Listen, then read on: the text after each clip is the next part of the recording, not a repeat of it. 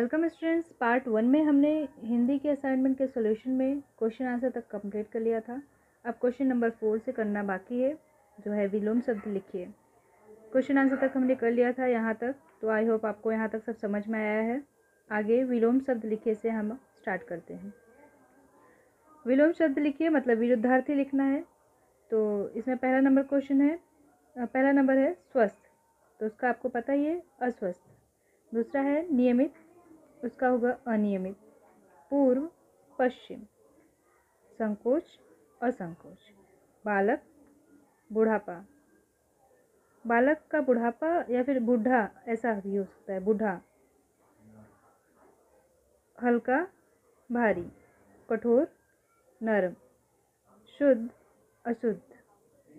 संध्या, सबेर। मतलब संध्या मतलब शाम, सबेर मतलब सुबह।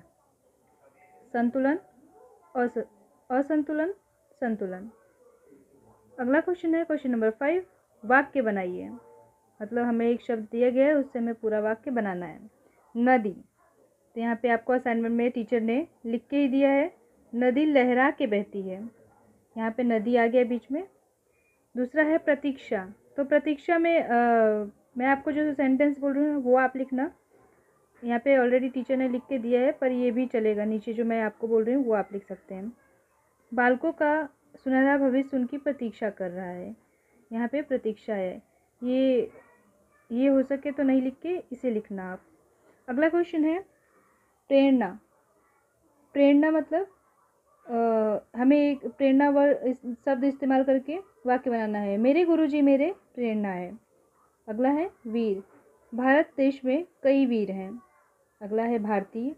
भारतीय लोग संस्कारी हैं। इसके अलावा भी वाक्य प्रयोग आप कई तरीके से या किसी भी तरीके से अपने हिसाब से बना सकते हैं, जिसमें ये शब्द आए।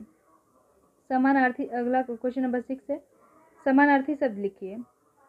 तो समानार्थी मतलब जिसका समान अर्थ हो, पर्यायवाची लिखना है। परतंत्रता मतलब गुलामी। नदी मतलब सरिता। निरंतर मतलब लगातार। राह मतलब रास्ता। दीर्घायु मतलब लंबी आयु, वन मतलब जंगल, शताब्दी मतलब सौ वर्ष। मुखिया मतलब प्रधान।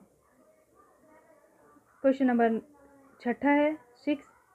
संधि विच्छेद कीजिए। संधि विच्छेद मतलब दो शब्द हैं, उसको अलग अलग करना है। पहला है कीटाणु तो इसका संधि विच्छेद होगा कीट, धन, अणु। कीट, धन, अणु। क्या होगा? कीटाणु। दूसरा है पर्यावरण। तो पर्यावरण में आपको पर्या धन, आवरण लिखा है। तो यहाँ पे आप कर पर्या जहाँ पे लिखा है, वहाँ पे हटा के आप लिखना परि, धन, आवरण। तीसरा है अत्यधिक। तो यहाँ पे होगा अति, धन, अधिक। अतः जहाँ लिखा है, वहाँ पे आप करना अति, धन, अधिक। अगला है मनोबल। तो यहाँ पे आप मनो, धन, बल लिखा है तो लिखना मन, धन, बल। अगला है विद्यार्थी। तो आप करना विद्या, धन आर्थी लिखा है तो अर्थी करना विद्या, धन, अर्थी, जो विद्या के लिए, विद्या पाना चाहे उसको विद्यार्थी। आगे का आप दोनों कैंसिल कर देना ये five is enough okay